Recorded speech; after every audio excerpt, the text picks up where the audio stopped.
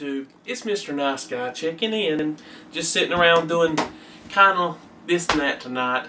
Um, it's a late night, getting ready for tomorrow. Tomorrow is the big day, Valentine's Day. I hope everybody's ready and got your flowers. A lot. I called. Let me tell you, I, I, I'm kind of a late bloomer, so today I called uh, florist and I said, um, I need some roses for tomorrow to send my wife. And they's like, we ain't got no roses. I said, what? And uh, they said, yeah, we might have some come in tomorrow. But I was like, oh no. So I'm, I'm hoping to work out something. I did want to, while I'm here, I wanted to do a little special thing for my wife since it is tomorrow is Valentine's Day. You'll have to bear with me a second. It, it, I've got some good news after this. But um, my wife, I love her to death. And uh, this is a little clip I wanted to put in here just for her.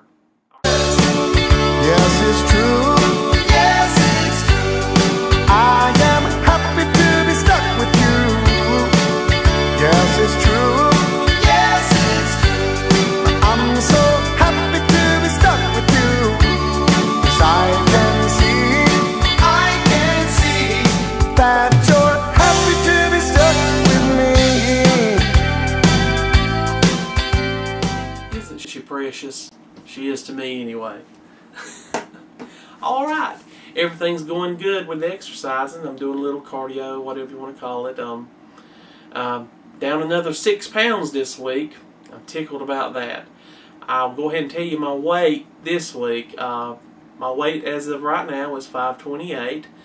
So, I'm getting there. I'm hoping I can get under the 5 mark shortly. Hopefully within two months I can get under that. At going six pounds a week or something, you know, that's that's pretty good good movement. So I'm I'm happy about that. So 528 and uh, hopefully I'll be a little bit less tomorrow.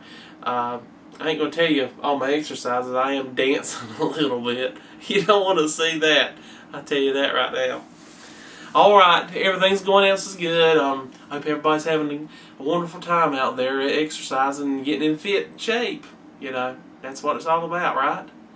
Uh, feeling good about yourself. And um, if you need me, send me a question, comments, whatever. Let me know. I always love to hear from you. Until next time, y'all have yourself a nice